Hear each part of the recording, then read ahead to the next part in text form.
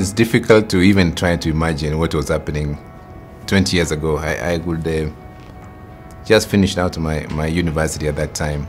So, you know, phones, uh, we didn't have the mobile phones at that time. What we were looking for was just landlines as we know them uh, from an older company, Kenya Post and Telecommunication at that time. And uh, there were less than 200,000 phones for a population of 30 million. So less than 1% of people had access to any information. It's been very traditional. And what you've seen today is a complete disruption. Well, getting a phone was, was not possible at that time. You needed someone to recommend you to get the phone at that time. What I saw was a phone of 150,000 shillings. There is no way I could even afford it. I got my first phone through my, my employer at that time.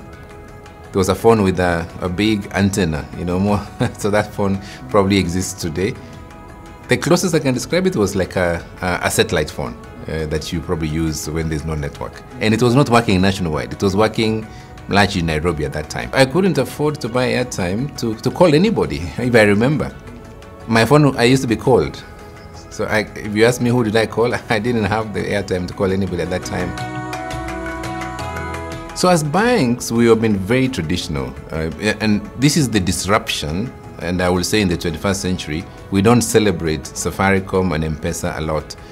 They have been one of the global trail trailblazers for our generation because what we had was a money transfer or, or a bank order. And then obviously in the 2007, we see a complete disruption I would say M-Pesa has created what, what you call as um, the greatest disruption of mobile money in our century. I will call them the 21st century global champions for money transfer, including payments. And so now you can move money in an instant the greatest entity in our market today in the continent the last 10 years is Safaricom. So as a CEO of a largest bank here, I stand to celebrate the experiences and the changes Safaricom has brought in our lives. I would say that the future belongs to the daring, belongs to those that are willing to work with clients collectively and finally deliver a higher level of service. And that's what I will wish for Safaricom to do in the next decade.